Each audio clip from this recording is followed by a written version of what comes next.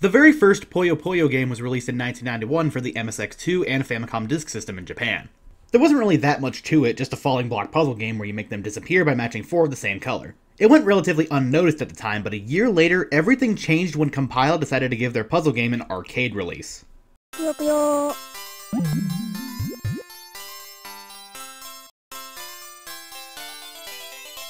While the original versions focused on solo play with a multiplayer mode included, this arcade release changed things up, solely focusing on competitive play.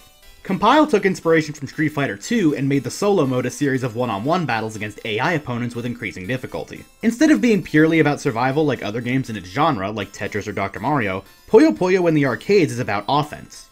Notice how the Puyos are actually affected by gravity? Well, the name of the game here is getting chain reactions, and the size of your chain determines the amount of garbage pieces that fall in the opponent's field.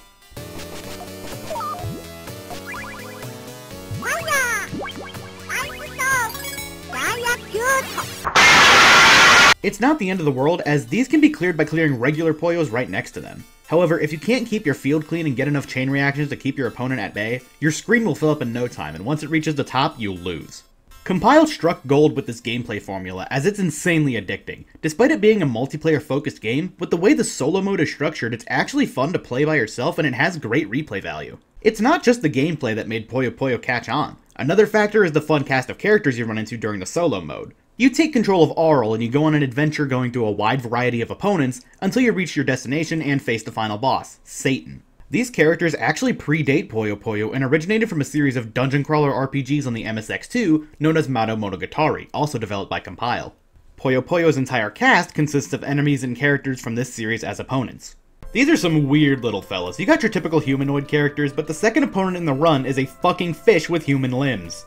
I'm an A-class fisherman myself, and I've never seen one of those before. Aw, this guy looks a lot more normal and cute looking than Fishman. I wonder what he had. What the fuck is that? I feel like it's worth pointing out that Madou Monogatari had a very different style compared to Puyo Puyo. So while some characters transitioned with no changes whatsoever, other ones got major redesigns. I mean, seriously, some of these guys were not meant to be in a cutesy puzzle game. I think Harpy's makeover says all that needs to be said. Ah! I feel like it's also worth noting that certain entries in the Madou Monogatari series would adopt a more Puyo Puyo centric art style later on, so these older designs don't necessarily represent the whole series. Ever since Sega took over the franchise in the 2000s, their games slowly but surely moved away from the bizarre characters of old in favor of a lot more human-like characters. That and the old characters that did make a comeback were given a makeover and they fit nicely in the new style. As much as I admire the strange and unusual, I gotta say I absolutely prefer the mostly human cast of the recent entries compared to Compile's old rogues gallery of circus freaks from the classic series. Although I will admit, it does have a lot of charm to it. Every match begins with a back and forth between Arl and the opponent, with everyone having their own unique personality. I mean seriously, check out all these funny lines I can't read. Some of them directly threaten your life while others are just vibing. One genius move by Compile is having a live face reaction from your opponent in the middle of the screen at all times. Most of the time they're neutral, but they get happy or confident when they think they're about to win, and when it's the other way around they get nervous and start to panic.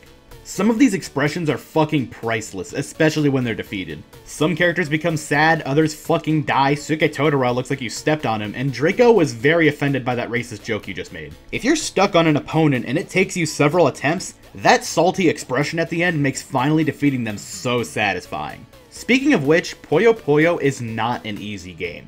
It was the arcade, so it's not too surprising that this is the case, but not only does the AI get progressively harder the further you progress, but the Puyos fall faster as well. You've got to make sure you're at maximum focus if you want to beat this game. It eventually does relent a little by nerfing the falling speed a tiny bit if you lose, but the AI does not give the slightest fuck how many times you lose or how many quarters you waste trying to beat a walking meatloaf. This game is absolutely going to kick your ass. By the time you get to stage 9, all hell breaks loose and the falling speed is cranked up even more. This becomes a pain considering there's no counterclockwise rotation in the arcade, so with how fast they start to fall, you can't reasonably press the button fast enough to flip it to the side you want without potentially overshooting it. These final opponents do not mess around either, so you're gonna have to try again a lot. Unfortunately, this does kind of reek of first game syndrome.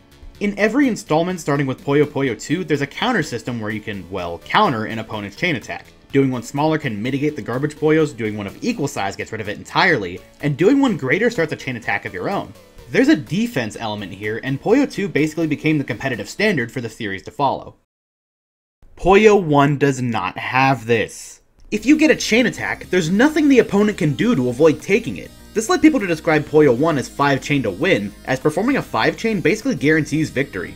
It's not so much a battle of brains which takes offense and defense into account, but more like a fast-paced race to get the bigger chain first. Matches can end absurdly quickly because of this, and it makes the later stages even more unforgiving. Puyo 1 is still a fun game to go back to, however, and one of the biggest reasons is the fantastic soundtrack. These are some of the greatest puzzle melodies from the 16-bit era, if you ask me. Some tracks have a more classical feel,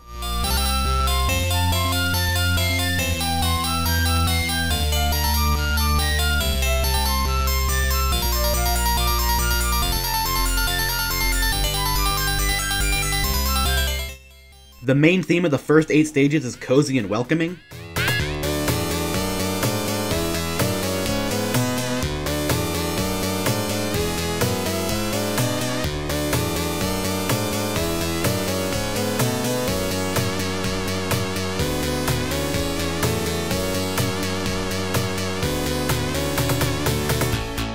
And my favorite track has to go to Sticker, which plays in the last four stages before Satan.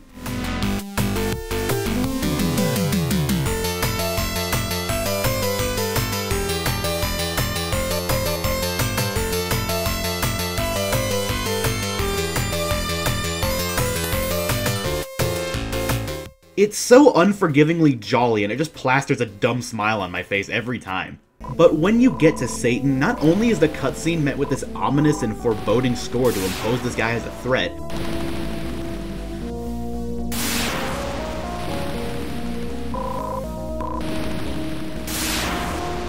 but the actual boss fight music is fucking insane!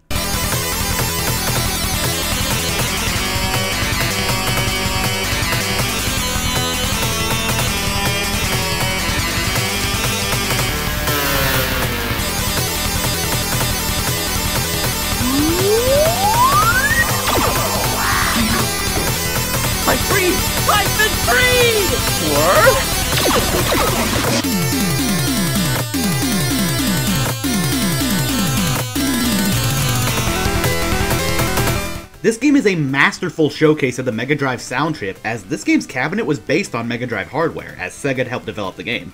This game right here, it's pretty fun. Obviously outclassed by the sequel in pretty much every way, mind you, but it's still fun to go back to every once in a while. Compile had a smash hit on their hands, and with that success came expansion. Not only was there a fucking dump truck load of ports for the game, but Compile decided that Puyo Puyo would be coming to other countries as well.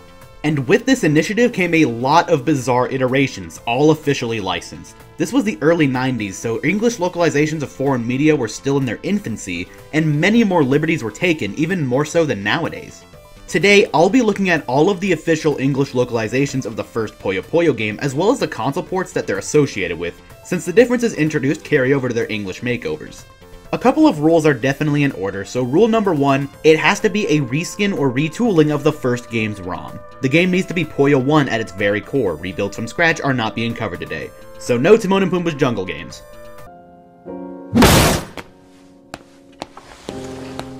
Rule number two, I'll only be looking at the ports that have their own official English version. If I were to cover every port of the first game, this video would be 3 hours long.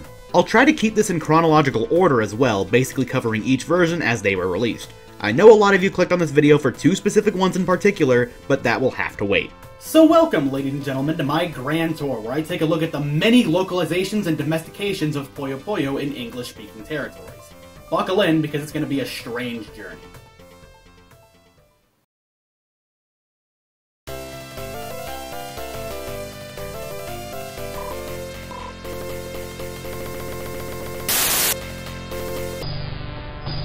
No!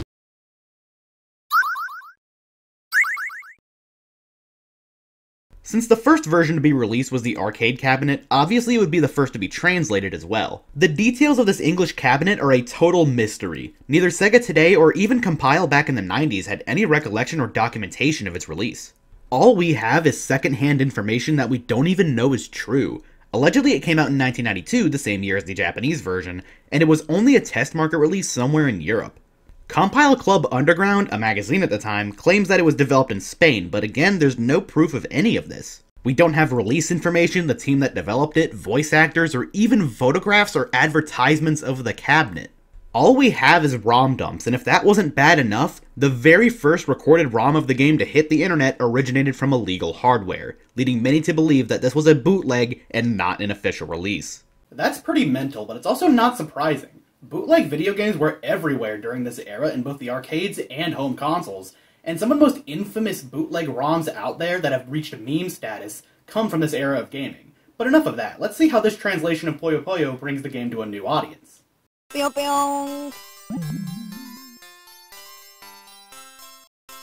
Visually, it seems mostly intact on the surface, but the longer you play, the sooner you realize how much they tampered with the game. Cutscenes were completely overhauled, so different animations play at different times or are removed altogether. This is due to the cutscenes themselves not even being translations of those from the Japanese version. They were completely rewritten, giving characters new personalities and new names. Arl was changed to Sylvana, Suketoudara became Gobi Captain, Nasu Grave became Blue Ghost, Sukiyapodes is Small Foot, Zodaimo is Elephant Lord, and Draco Centaurus is now Dragon Woman. As a matter of fact, Zombie, Carbuncle, the Mummy, and the Witch were the only characters that kept their names in this version. Some of this is definitely the work of censorship. Panotty was changed to Johnny because we definitely need to save the children from Greek folklore, oh no. Harpy was an angel, which was a religious reference because religion isn't a thing in real life, so she was changed to Dark Elf and had her wings cut off. And as for Satan, do I even need to explain? He was changed to the Dark Prince, which is the only localized name from this release to stick around in every English Puyo game, even to this day. I just don't understand the motives behind most of these though. Did they think some of these were too hard to pronounce in English? Is Sylvana a more appealing name to us white folk than Arl? They literally show the names in English at the very end of the game in the Japanese version, so most of these just don't make any sense. What also makes no sense is the changes made to the cutscenes. I already mentioned this earlier, but the scenarios were completely changed for these. Everybody talks like robots with the way they word their sentences, and it's some of the most unintentionally awkward dialogue you'll ever read. If you intend to take it from me, then you have a difficult task before you. Do I even need to explain the English voice samples? Half the time our- oh I'm sorry, Sylvana's voice actress sounds bored. Fire! Ice storm! Full power! The other ones aren't much better either. Moron! Wow! Here we go! Adiad! I think the biggest downgrade has to go to Draco. Here's the Japanese sample. Go! And now the English dub. What the fuck? Gao is a sound used in Japanese media to convey a roar of some kind by a monster or animal, usually in a cute fashion. For one, why didn't they translate this? And two, why does the voice actor scream it into the microphone with the strength of a thousand suns? Have you seen this character? She's not exactly supposed to be threatening or fearsome. I mean, just look at her in Puyo Puyo Sun. I mean, I- I'm just saying. The voice acting is just laughably awful. There's some kind of charm to it, but most of the time it just makes me wish I was playing the Japanese version. Sega's recent Puyo entries have fared much better with their English voice acting despite some translation quirks, so hopefully that applies to all of their other franchises too, right? Right? Hanabi-kun, I've liked you for such a long time. Will you please go out with me? Oh, Mabe-san. Yes, it would be my honor. For years, this cabinet was long speculated to be an unlicensed release, since Compile didn't really have much information about it. However, in 2019, that all changed with the release of Sega Ages Puyo Puyo for Nintendo Switch. This was crafted by the emulation wizards at M2, and it's basically a souped up version of the cabinet, adding counterclockwise rotation, online play, difficulty options, and the option to play using the English ROM, proving that this was indeed a real translation. That's one thing I can't help but love about Sega. They're not afraid to bring up stinky shit from their past, no matter how dated or garbage it really is. It's a cool piece of fan service, and it's great to finally have that mystery solved. We still know basically nothing about who developed it or its cast, though. In fact, Sega apparently didn't even have the ROM in their archives. They had to get this version from a collector to release it. Crazy shit.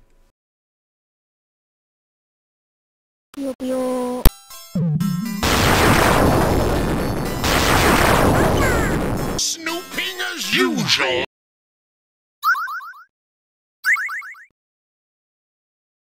Naturally, Puyo Puyo's success in the arcade has convinced Compile to bring this new and improved take on their puzzle game to home consoles, with the first port arriving on the Mega Drive, or as it's known in America, the Genesis. Since the arcade cabinet was based on Mega Drive hardware, this was a mostly uncompromised port of the game. No content was cut, in fact this version adds quite a few new features. Counterclockwise rotation for the first time in the series, a single player endless mode that plays more like the MSX2 version, and difficulty options so that playing the campaign isn't a complete ball ache. This is especially a good feature to have as this is not an easy game. It's actually nice to play through the game without too much trouble sometimes, you know? The game is still challenging, but it's nerfed a bit on the easy difficulty. Not to mention, it made capturing footage of these games much easier, considering certain characters' AI are fucking awful in the arcade. Oh, you motherfucker! I hope your granddad makes his fucking hip replacement, you son of a cunt! With all these additions and the fact that visuals and music are completely unaltered, this looks like the definitive port of Puyo Puyo, right? Well, there is one major setback to this version in terms of sound. See, despite the arcade game being based on Genesis hardware, one thing it didn't have to deal with is cartridge limitations. All those voice samples in the game were possible due to cartridges not even being a factor. This port, on the other hand, was a completely different story. Genesis games often sacrificed a lot just to get voice samples in at all. The Yamaha YM2612 does not handle these very well. In fact, they're nails on a chalkboard.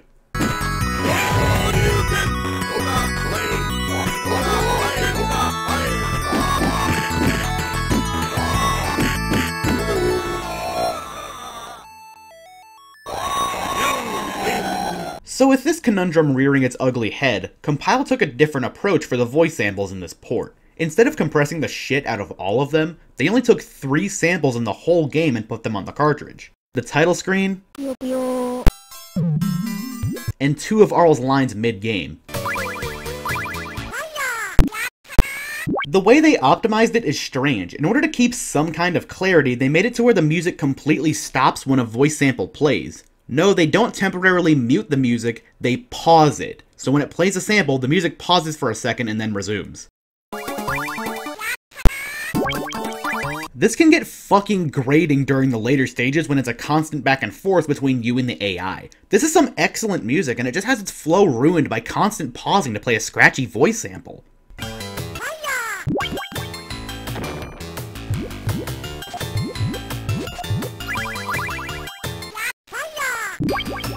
Not to mention, it was satisfying to hear Arl cast all those spells in the arcade game when getting a big chain. But here, since there's only one line for that, it plays that, stops the music, and the rest of the chain just has nothing. It's extremely jarring.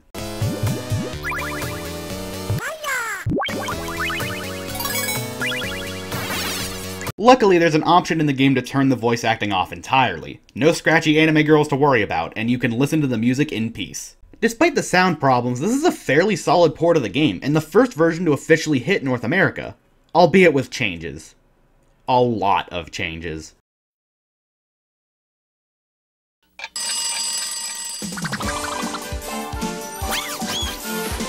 Allow me to introduce to you the adventures of Sonic the Hedgehog. This unholy monstrosity was unleashed from the bowels of DiC Entertainment. Dick! What was supposed to be a Sonic cartoon that acted as a homage to Golden Age animation, executives went in and said, no, this is fucking stupid, make it like Ren and Stimpy, the kids will like that more. So we ended up with a really shitty cartoon that had a bunch of shoehorned gross out and some of the worst animation you'll ever see, thanks to DiC crunching the hell out of the animators they outsourced to. This cartoon was just a drop in the bucket of American companies and subsidiaries trying to localize Japanese properties for a Western audience, which mostly involved taking beloved character designs and beating them with the ugly stick. Thankfully, those days are mostly over, but I could make a whole video talking about these drastic Americanizations. Back to Sonic, the only saving grace for the show was Long John Baldry as Dr. Robotnik. His performance was the only thing that makes watching the filth even remotely tolerable. Rest in peace, man. I'm going to tunnel to the main Mobius Reservoir, steal all its water, and turn that town into Lake Robotnik. Need any help? No! Now, why the fuck am I talking about this cartoon? Well, let's just say that the adventures of Sonic the Hedgehog served as the inspiration for Puyo Puyo's first official journey to North America Dr. Robotnik's Mean Bean Machine. Since Sega and Compile were close business partners at the time, with Sega providing Mega Drive hardware for the cabinet and having some input on the game's development, it was a no brainer for them to team up and bring Puyo Puyo to the West with a Sonic skin. Sonic was far more popular in North America than it ever was in Japan, but instead of modeling this new Sonic painted Puyo Puyo after the games or the Japanese promotional art, they went with DiC's Adventures of Sonic the Hedgehog cartoon.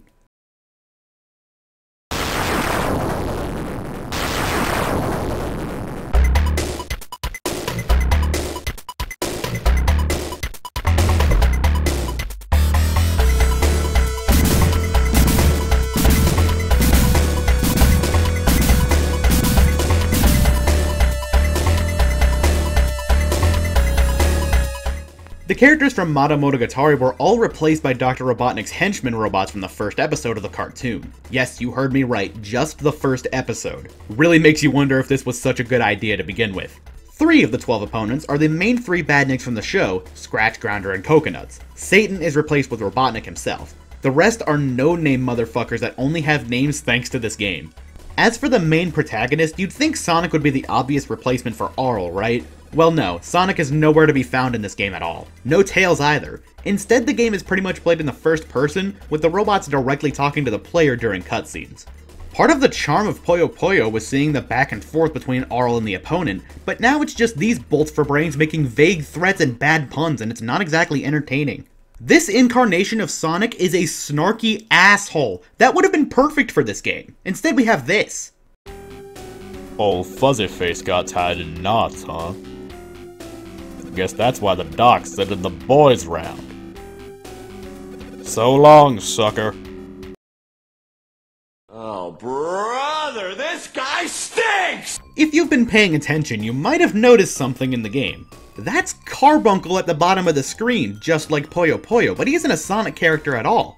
Well, in this game, Carbuncle got renamed to Has-Been, which doesn't make a lick of sense whatsoever. If you're gonna recycle Carbuncle, at least have the decency to admit it, instead of creating a non-existent OC for your stupid reskin, Christ. One thing this game does add that Puyo Puyo lacks is an intro cutscene explaining the plot. These aren't Puyos, they're Beans, what the fuck? Other than those differences, the presentation is mostly intact, with every robot having a live reaction in the center of the screen during gameplay. And my god, some of these are even better than the ones in Puyo Puyo. They're so fucking funny, and even though some of them make no sense, perhaps it's better that way.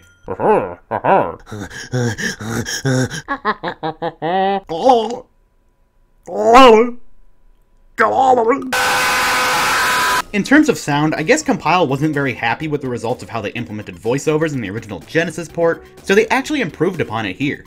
There's still only a handful of clips, but instead of playing them once and muting the music, the music stays and the clip repeats at a higher pitch when getting a bigger combo.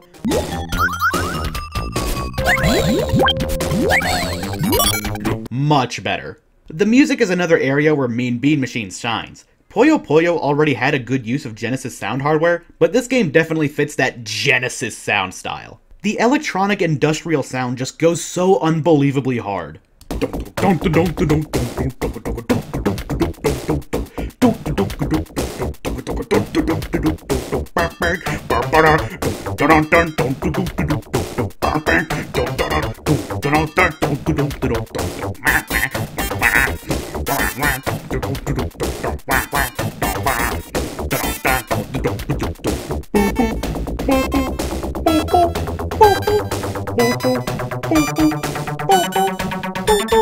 Also love Robotnik's boss theme. It's just a pounding drum solo with vague instrumentation backing it, but it's so good.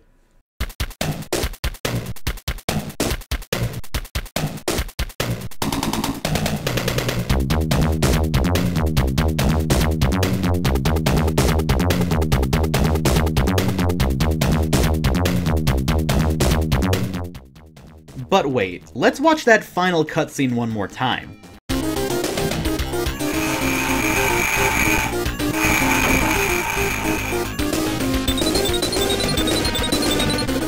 That music sounds familiar. Is that...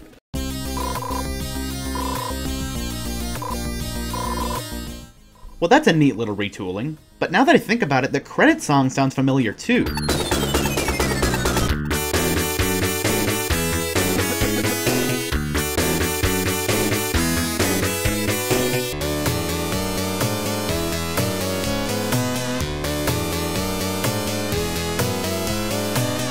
That's another remixed song. Huh. What about the verses mode?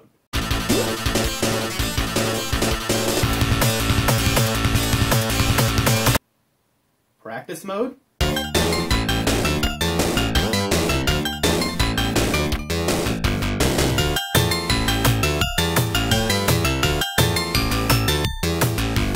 The password entry?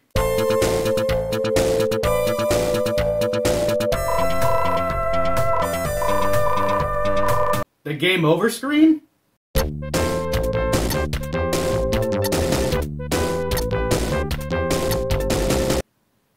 The fucking unused music?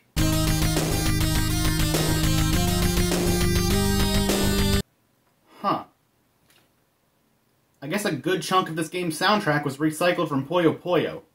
Yeah, it's kind of easy to tell that this game didn't have much of a budget. One thing I do like is how this game remixes those songs into MBM's sound font. It's got heavier percussion and a more gritty, punk-like sound that makes these songs sound a bit more mean, no pun intended. It's not just music that's reused either. Carbuncle remains, there's only one background and it's just recycled from Puyo Puyo. And even all the fonts are the damn same. This isn't really much of a unique version of Puyo Puyo, it's a goddamn ROM hack. The enemy AI is the same across both games too. In fact, Mean Bean Machine removes content from Puyo Puyo as well. Not only are all the backgrounds axed, but the training stages that get new players used to the game are completely gone as well, and in its place is a password system, so you can pick up where you left off. For higher difficulties, I can understand having this feature, but for the average player, who the hell needs a password system in a game you can beat in 20 minutes? In the end, while Mean Bean Machine is a charming little distraction and an interesting piece of Sonic and Puyo history, it's a downgrade from Puyo 1 in basically every way. For some reason, Sega just gets their rocks off to porting this game everywhere. You think I'm joking? There's more releases of this game than there are releases of Sonic 3. Let's see. You can play Dr. Robotnik's Mean Bean Machine on...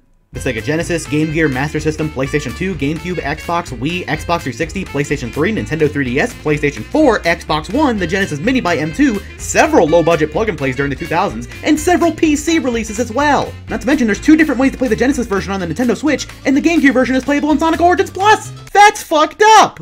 This game even got a re-release on the Genesis itself! Sega just absolutely adores this game despite being branded with an outdated cartoon they don't even own the rights to. It, it just makes no sense. The Game Gear Supersonic Sports Pack. You know who makes it. Coffee? Tea? Carmen! Are you sleeping, you fat no, fuck? I think it's time we take a detour to Sega's 90s handheld, the Game Gear. Even though it was basically just a portable Master System and it was somehow worse than the Game Boy, it too had its own port of Puyo Puyo. If you want a Game Gear version of Puyo Puyo, this is certainly gonna get the job done. This is essentially a one-to-one port of the arcade game with a huge visual downgrade due to the hardware, as well as a quest mode, which is basically the single-player content from the MSX and Famicom version. Cool addition! The Endless mode from the console version is intact as well. The big drawback comes from the overall presentation, though. Some visuals are carried over mostly flawlessly from the arcade. Seriously, this is impressive stuff for an 8-bit handheld. However, all of the cutscenes have been removed entirely. Like I said before, the cutscenes are what gave the game a lot of its character. Without them, it doesn't really feel all that engaging outside of the actual gameplay. Combine that with the portraits having practically no animation, and this is definitely the most lifeless and boring version of the game thus far. The music certainly doesn't help either.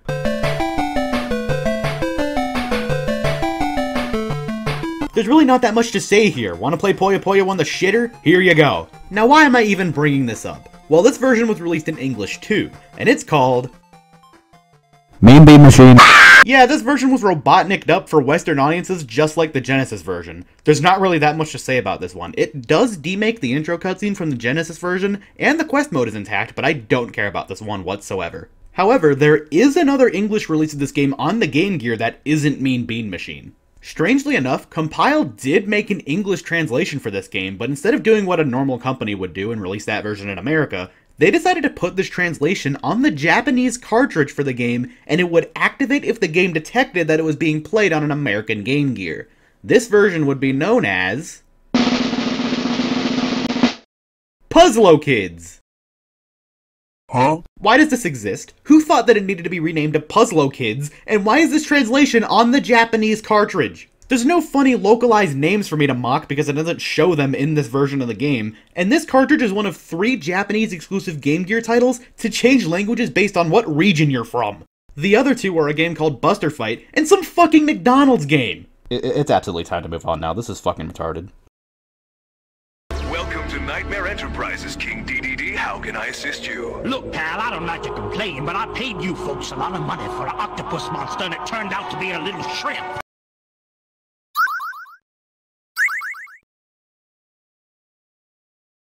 Despite Sega helping out a lot with the arcade game's development, and later owning the IP entirely when Compile went bankrupt, Compile in the 90s was the sole owner of Puyo Puyo, so they could port the game to whatever console they wanted, including those from Sega's main competitor, Nintendo.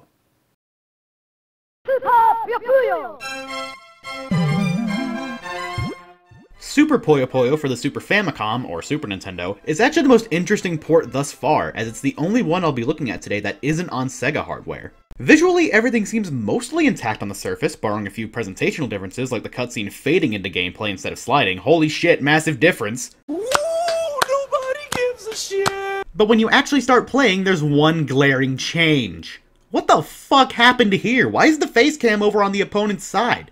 Well, there's actually a technical explanation for this, so prepare for Professor Joseph Toastyman III to bore you to death with a lecture about gaming consoles from the 90s. You see, while the Genesis displayed games at a resolution of 320 by 224, the Super Nintendo on the other hand runs games at 256 by 224 instead, meaning a shorter horizontal resolution and a squashed aspect ratio. As a result, a lot of multi-platform games on both the Genesis and the Super Nintendo had to take this lower resolution into account. This meant that for most games, the Super Nintendo port had to be cropped. Super Puyo Puyo was no exception here. In fact, you can see the cropping in action if you pay close attention to the cutscenes, as they're zoomed in as well. If Compile wanted to keep the presentation in-game completely intact, they would either have to reanimate the portraits or the Puyos themselves completely from scratch, and I don't think that was really in their budget for a simple port, so fuck it, move the picture over to the right. They actually decided to include an option to adjust the portrait's position. It's not an ideal solution, but they made do with what they had, so I can't really fault them too much for that. Other than the cropping, it's a seamless transition to the SNES visually. The color palette saw a nice upgrade as well. What isn't so seamless, however, is the sound. The SNES and Genesis are very different beasts in terms of audio. Thanks to the SNES having larger cartridge space and cleaner sound hardware, voice lines are back with no cuts, and they actually sound clearer than they do in the arcade.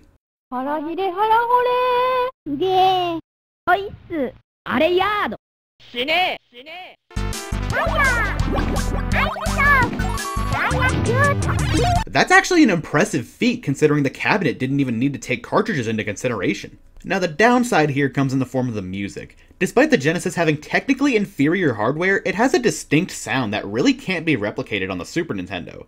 As a result, while some games sound better on the SNES,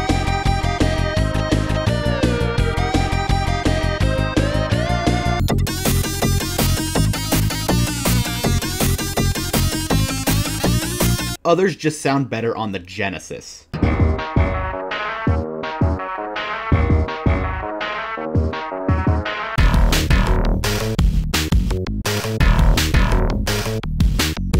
Super Puyo Puyo is an interesting case, as this soundtrack is a mixed bag of smooth transitions and diarrhea. Some songs actually sound really good.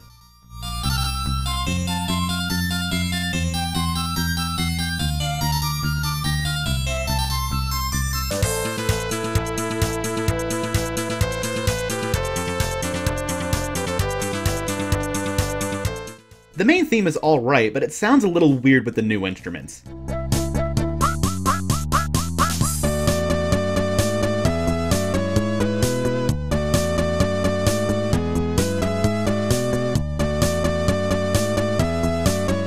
But the rest of the soundtrack is plagued by strange instrument choices. Just what the hell is this?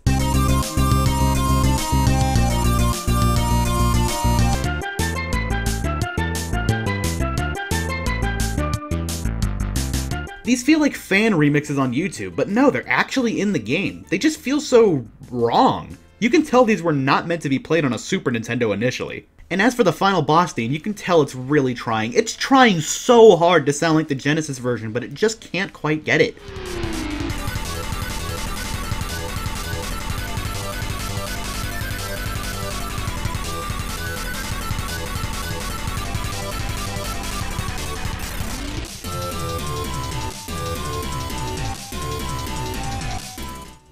Super Puyo Puyo's setbacks as well as advantages, I'd say this is about on par with the Genesis port and it's really up to preference as to which version you prefer. For me though, I'd say the music on the Genesis just completely wipes the floor with the SNES. And since Sega apparently made a lot of money on Mean Bean Machine, Nintendo seemingly wanted a piece of that pie, so they partnered with Compile to make their own localized version of Puyo Puyo with their own character. Kirby. Who doesn't like Kirby? If you don't like Kirby, that's punishable by death in most US states. Immediately with the idea, I can say that Kirby is a far more fitting series to reskin Puyo Puyo with than the adventures of Sonic the Hedgehog. Kirby has a similar cutesy aesthetic to the Puyo series, and there's plenty of different characters and enemies to pick from. So let's see how Compile implemented Kirby's DNA into the last game we'll be looking at today, Kirby's Avalanche, or Kirby's Ghost Trap in Europe. Yeah, Kirby had a lot of renames over in Europe, I don't know why.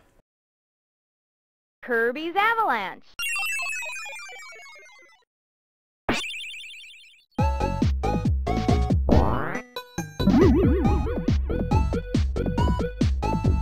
Going into the menu, well, would you look at that? They didn't cut the training stages like Mean Bean Machine did.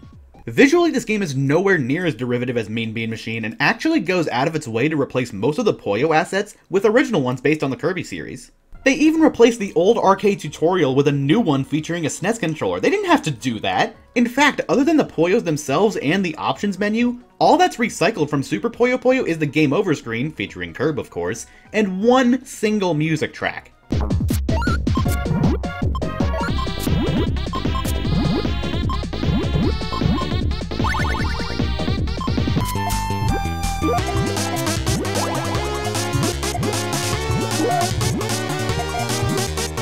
Everything else in this game is completely original. Carbuncle is gone, replaced by Kirby dancing in this little box.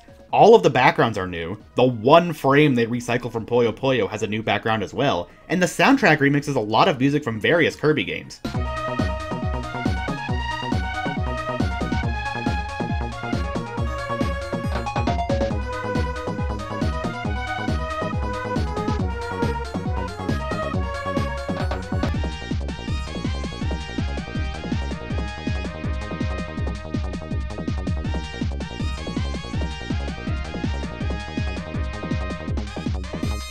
One thing I didn't expect was for them to keep the cutscenes the same, but they did. Kirby has a back and forth conversation with the opponent just like Puyo Puyo, and he's a bit of an asshole here to some of the characters. It's really out of brand for Kirby to be speaking in complete English sentences since nowadays he does nothing but blabber like a Neanderthal, but it does still feel like Kirby in certain parts. Like not directly being an asshole to Dedede as he's more of a rival than a villain, or only refusing a duel with Meta Knight because he doesn't have a sword.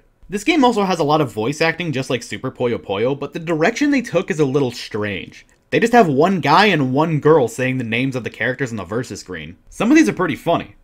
Kaboo, Heavy Mole, Meta Knight. Bronto Burt, King Dedede. And as for the Puyo stuff, this game is generally much more respectful than Mean Bean Machine in that regard. They actually leave the Puyos unchanged outside of gameplay as opposed to MBM, which turns them into these fucking things. Why does that one have a mustache? In fact, the arena where the final stretch of the game takes place is branded with a red Puyo on the floor, and there's a gray one on the trophy Kirby gets in the ending. And take a look at that title screen. They're not even trying to hide it. It's a very faithful reskin that actually feels like its own thing for a new audience. Even though it's still Super Puyo Puyo at its very core, it shakes things up enough to justify existing while only recycling things that make sense. It has that Nintendo attention to detail, and after looking at the credits, it's no wonder why it's so good, considering Kensuke Tanabe was credited. This guy was involved with a lot of Nintendo-related projects being developed by outside studios like Compile. He worked with Rareware on Donkey Kong Country, Square Enix on Super Mario RPG, Retro Studios on Metroid Prime and the Donkey Kong Country Return series, as well as Next Level Games on Punch-Out Wii and the Luigi's Mansion sequels. Nintendo hasn't forgotten about this game either. It's been re-released on the Wii and Wii U Virtual Consoles, as well as being available on the Nintendo Switch through their online scam, alongside Super Puyo Puyo 2 oddly enough. I'm not complaining though, that's a good ass game. Strangely enough, this game was never released in Japan in any form, but Mean Bean Machine was, and that stupid ass cartoon didn't even air over there! Well, that concludes today's list of releases of the first Puyo game in English-speaking territories. A bizarre but influential chapter in the Puyo series history. A relic of a time when companies thought Americans hated Japanese art, until Pokemon took over the world a few years later, so that was a pretty bad judgment call, don't you think? The Puyo series has had a really tough time breaking into the Western market for ages. In the beginning, it just couldn't do it without major changes. I guess Compile was scarred for life over the failure of the English cabinet that only had a failed test run in a lonely and rural part of Europe. And the English versions of the first game that actually got made were either stuck on a Japanese cartridge not many people could import back then, or became lost media for ages with some really bad translation work done. Future games in the series skipped North America entirely until Puyo Puyo Fever, as well as some Game Boy game, but who gives a fuck. And that was when Sega took control of the series and made a pseudo-serious attempt at localizing it, with varying results I might add. They brought over a few games under the new localized title Puyo Pop and stopped entirely after a while, preferring to re-release Mean Bean Machine again a hundred fucking times. Future games starting in the mid 2000s would stay Japan exclusive until Puyo Puyo Tetris finally got an international release after massive fan demand, but that took three whole years to happen. Nowadays, things are looking up for the series over here since Puyo Puyo Champions and Puyo Puyo Tetris 2 instantly got English releases. Considering how Sega refuses to publish any new entries for their IPs other than Like a Dragon and Sonic the Hedgehog, that's pretty surprising. Sega officially values the puzzle game over Streets of Rage, Shenmue, and Alex Kidd. I scripted and recorded that before the Game Awards happened, and wouldn't you know it, Sega just fucking shadow announces like five new fucking games for abandoned franchises, including Streets of Rage. By the way, Sega, can we please get another racing game from Sumo Digital featuring all of your IPs? Like, come on. That shit would be awesome. The reskin domestications from Sega and Nintendo have made a huge impact on the series and the public's perception of it. So many people like myself got introduced through Mean Bean Machine. True story, I was playing my Switch one time at school during study hall years ago, and someone noticed that I was playing Super Puyo Puyo 2. His first reaction was, hey, that looks like Dr. Robotnik's Mean Bean Machine. We then had a conversation about the whole thing, and he said he first played Mean Bean Machine on one of those old budget plug and plays from the 2000s. It's pretty wild how much reach that version still has to this day. If you have a PS5, you could either play Puyo Puyo Tetris 2 or Mean Bean Machine. It's unreal that both modern Puyo and an outdated domestication can coexist. As for my personal opinion, I can't help but have a slight distaste for these two games. It's basically Western companies treating the original game like garbage, and a statement that basically says, you're not good enough for the Western market. Replace that anime girl with Robotnik's fat ass, that'll sell copies. It's also insulting to American consumers, like they're too stupid to understand a puzzle game, so it needs to be sanitized and warped with something they recognize so they can be nice and cozy and don't have to try something new. It's a byproduct of Western companies pissing all over Japanese art with their own stupid take on it through promotional material or whatever. You don't see the Japanese do- I stand corrected. Thankfully, these days are mostly over, but the lingering xenophobia still drifts through the air with foreign imports, such as English translations shoving in biased politics and social commentary or references to current events. This is something that needs to stop because nobody is going to turn on anime or play a Japanese video game to be lectured about the fucking patriarchy. What's wrong with you? But on the other hand, I cannot deny the impact that Mean Bean Machine and Kirby's Avalanche had. The former is far more well known, but Kirby's Avalanche has its fans, and I can consider it a great version of Puyo 1 because of how it respects the source material while putting a Kirby spin on it. Mean Bean Machine is a glorified ROM hack in comparison. These were basically a lot of people's gateway into discovering one of the greatest puzzle series in all of gaming, and its influence has basically come full circle. Puyo Puyo Tetris 2 features Sonic as a playable character. All we need is the next entry to have Dr. Eggman we'll basically achieve world peace. In Sonic Mania, the boss fight in Chemical Plant Act 2 is a match of Puyo Puyo against Dr. Eggman. I already mentioned this in the previous video, but what I didn't bring up is the music. Sound familiar?